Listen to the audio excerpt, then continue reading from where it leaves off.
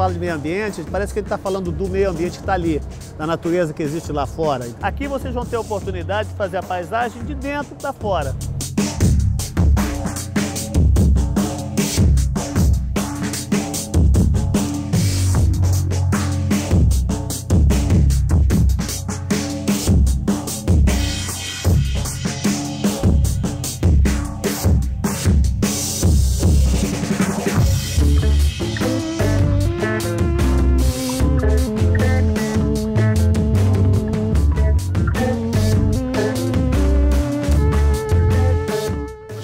Aqui reproduzindo uma foto que o Vicky Muniz é, tirou no mirante Dona Marta, né? Da Baía de Guanabara. E aí a gente está tentando é, distribuir os materiais que as pessoas trazem, né? Orientando as pessoas a, a ir formando essa, esse desenho junto com o Vicky Muniz para Rio Mais 20.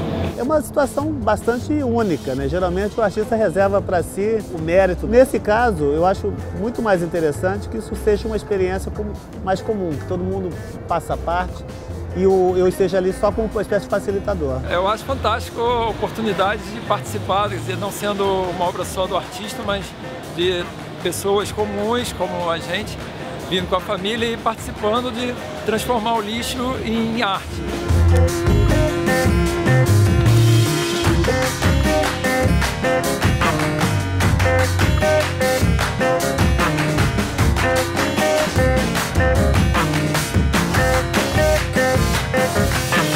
Faz um pequeno esforço para trazer uma garrafa, qualquer coisa e faz uma obra de arte muito bonita, né?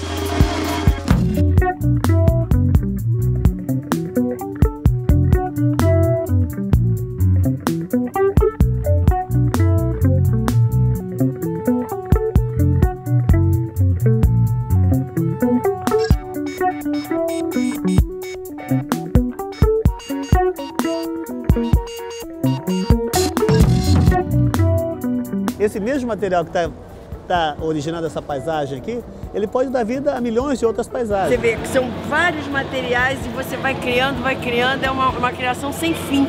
Antes de eu pensar em material reciclável, né, eu pensei na ideia de você criar uma coisa estética, bonita, a partir de coisas que a gente não associa à beleza. Então você pensa em lixo, você já imagina uma coisa que não serve para nada. Então, tanto do ponto de vista da reciclagem, isso é errado, quanto do ponto de vista da representação da arte. Em arte não tem nada que você não usa, nem como ideia, nem como material. Tudo é utilizável. Se você tiver uma boa ideia, você pode usar qualquer material, você pode fazer arte com ele. Eu sou apaixonada pelo trabalho do Vic, sempre fui desde o início da carreira dele. É, ele tem sido não só um grande artista, mas um grande porta-voz do Brasil, dessa sociedade nossa que já faz a diferença no planeta.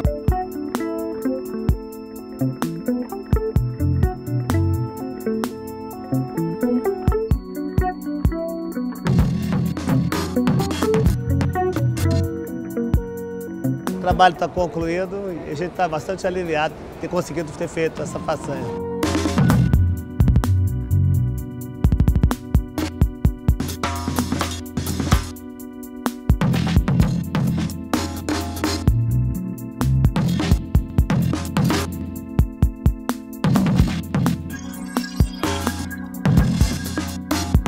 Obrigado a todos pela paciência, pelo esforço. Obrigado.